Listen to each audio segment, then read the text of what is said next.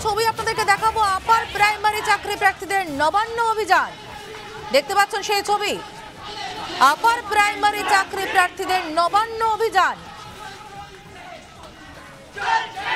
রুমকি, আমাদের প্রতিনিধি রয়েছেন সরাসরি। রুমকি, ঠিক কি ছবি উঠে আসছে?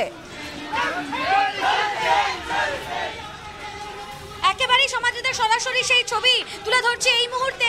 ইন্টারভিউ বঞ্চিত আপার প্রাইমারি চাকরি প্রার্থীরা যারা রয়েছেন তারা নবান্ন অভিযান শুরু করছেন মাতঙ্গিনী হাফসার মূর্তির পাদদেশ থেকে এখান থেকে তারা সরাসরি পৌঁছবেন নবান্ন এরকমটাই দাবি করছেন তারা কিন্তু সামনে ঠিক বেরোনোর মুখে গার্ডরেল দিয়ে কিন্তু পুলিশ আটকে রেখেছে রাস্তা যথেষ্টই কড়া নিরাপত্তা ব্যবস্থা এই মুহূর্তে রয়েছে সেই জায়গা থেকে আমি একবার সরাসরি তাদের সাথে কথা বলে নেওয়ার চেষ্টা করব আজকে আপনারা ঠিক কি দাবিতে নবান্ন অভিযান আমরা উম, মুখ্যমন্ত্রী ম- ম- মানবিক মুখ্যমন্ত্রীর কাছে মানবিক হস্তক্ষেপ দাবি করছি কারণ স্কুল সার্ভিস কমিশন তার নিজের তৈরি গেজেট মানেনি সেই জন্য আমরা বঞ্চিত আমরা চাই স্কুল সার্ভিস কমিশন তার নিজের তৈরি গেজেট এইট থ্রি বি রুলসটা মানুক উম, আর মেনে আমাদের সকল প্রশিক্ষণপ্রাপ্ত টেট পাস চাকরি প্রার্থীদের ইন্টারভিউ নিয়ে আমাদেরকে সবাইকে চাকরি দিক একেবারে চাকরির দাবি করছেন সমাজের দা- আমি এখানে তো প্রচুর পুলিশ কর্মী আছে, গার্ডেন দিয়ে আটকে রয়েছে।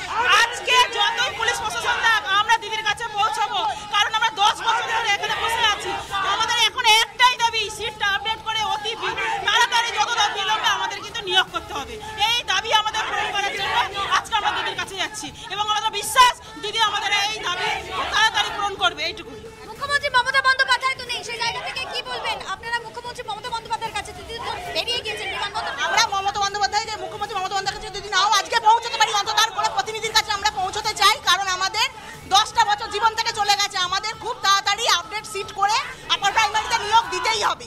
একেবারে চারশো আটান্ন দিন ধরে তারা রাস্তায় বসে রয়েছেন। এই শহীদ মাতঙ্গিনী হাজার মূর্তির পাদদেশে তারা লাগাতার অবস্থান বিক্ষোভ করছেন কিন্তু আহ, এখনও পর্যন্ত মুখ্যমন্ত্রী মমতা বন্দ্যোপাধ্যায়ের তরফ থেকে কোনো রকম কোনো প্রতিশ্রুতি তারা পাননি এবং তারা বলছেন যে তাদের অনেকের আছে যাদের বয়স পেরিয়ে যাচ্ছে তারা আর হয়তো বেশি দিন চাকরিটা করতে পারবেন না। তাই অবিলম্বে দ্রুত এই চাকরি দেওয়া হোক। চাকরি প্রার্থীদের অন্তত এরকমটাই দাবি তুলছেন তারা। শহীদ মাতঙ্গিনী মূর্তির পাদদেশ থেকে এই মুহূর্তে তারা রওনা দিয়েছেন।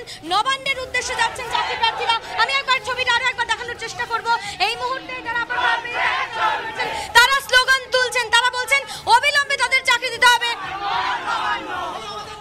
আমাদের একমাত্রই দাবি, আমাদের সিটটা আপডেট করে যত দ্রুত আমাদের ইন্টারভিউ বঞ্চিত প্রাইমারি চাকরি প্রার্থীদের নিয়োগ করতে হবে এবং এই দাবিতে আমাদের নবান্ন অভিযান আজকে এবং আমরা দিদিকে তোমার চাই, একটাই দাবি, আমাদের সিটে নিয়োগ